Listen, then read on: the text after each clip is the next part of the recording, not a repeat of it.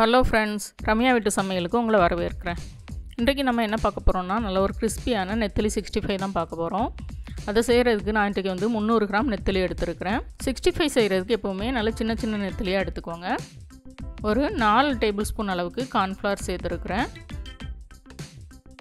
நெத்திலியை clean பண்ணும்போது வால் எடுக்க வேண்டாம் சிக்ஸ்டி ஃபைவ் செய்யும்போது. அது கூட ரெண்டு டேபிள் ஸ்பூன் அளவுக்கு காஷ்மீரி சில்லி பவுடர் சேர்த்துருக்குறேன்.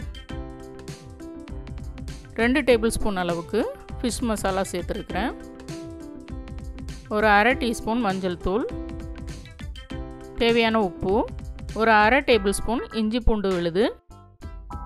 மூணு டேபிள் ஸ்பூன் அளவுக்கு தண்ணி சேர்த்துருக்குறேன். தண்ணி சேர்த்து எல்லாத்தையும் நல்லா கலந்துடலாம் நமக்கு தண்ணி காணாது. இன்னும் கொஞ்சம் தண்ணி தெளிக்க வேண்டியது இருக்குது.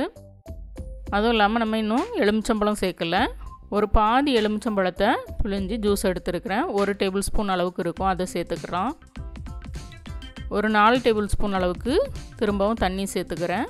சேர்த்து நல்லா கலந்துக்கோங்க. உப்பு எலுமிச்சம்பழம் இதெல்லாம் நல்லா மீனில் பிடிக்கணும்.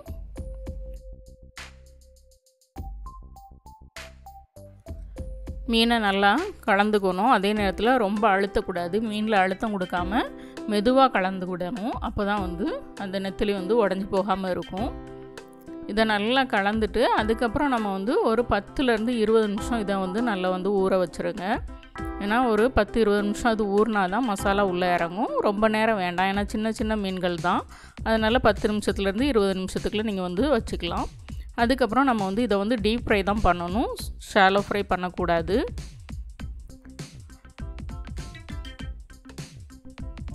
இந்த மாதிரி ஒரு அகலமான தவா எடுத்துக்கோங்க. அதில் எண்ணெய் சேர்த்துட்டு பொரிச்சிக்கோங்க.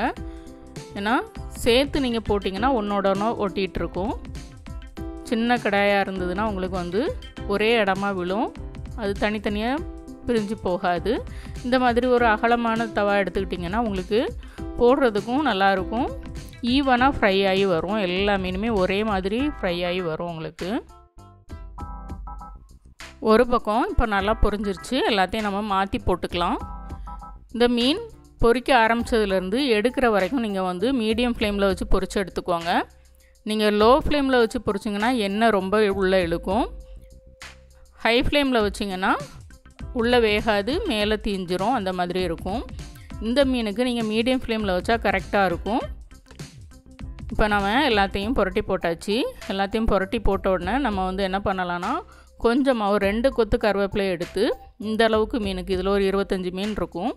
அதுக்கு வந்து நீங்கள் ஒரு ரெண்டு கொத்து கருவேப்பிலையை இந்த மாதிரி உதுத்து அதில் போட்டுருங்க. அந்த கருவேப்பிலையும் அந்த மீனோடு சேர்ந்து பொரியட்டும். இப்படி பொரிஞ்சதுன்னா நம்ம மீன் சாப்பிடும்போது உங்களுக்கு வந்து அந்த மீனோட ஸ்மெல் ரொம்ப தெரியாது.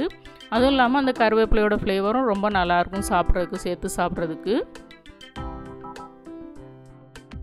இங்கே பாருங்கள் நமக்கு இப்போ வந்து நெத்திலி சிக்ஸ்டி ஃபைவ் வந்து சூப்பராக நல்லா கிறிஸ்பியாக ரெடி ஆகிடுச்சு எடுத்துடலாம்.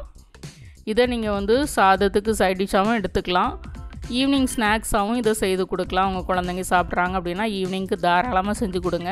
இந்த பப்ஸு அந்த மாதிரிலாம் வாங்கி கொடுக்குறதுக்கு நீங்கள் இந்த மாதிரி நீங்கள் செஞ்சு கொடுங்க. சூப்பராக விரும்பி சாப்பிடுவாங்க. உங்கள்கிட்ட மீன் மசாலா இல்லை அப்படின்னா நீங்கள் வைக்கிற குழம்பு மசாலா அதுவே சேர்த்துக்கலாம். ஆனால் அது கூட காஷ்மீரி மிளகாய்த்தூள் கண்டிப்பாக சேர்க்கணும். சேர்த்து நான் சொன்ன மாதிரி எல்லா அளவுகளும் சேர்த்து நீங்கள் பொரிச்சிங்கன்னா இதே மாதிரியே கிறிஸ்பியாக வரும். இதே மாதிரியே மீதி இருக்க எல்லாத்தையுமே நம்ம பொறிச்சு எடுத்துக்க போகிறோம் இங்கே பாருங்கள் சூப்பராக நமக்கு வந்து நெத்திலி சிக்ஸ்டி ஃபைவ் வந்து ரெடி ஆயிடுச்சு. அந்த கருவேப்பிலையோட கொஞ்சம் வெங்காயம் வெட்டி வச்சு நீங்கள் வந்து ஈவினிங் ஸ்நாக்ஸாக சாப்பிட்லாம். நாங்கள் இன்றைக்கு வந்து கருவாட்டு குழம்பு வச்சுருந்தோம்.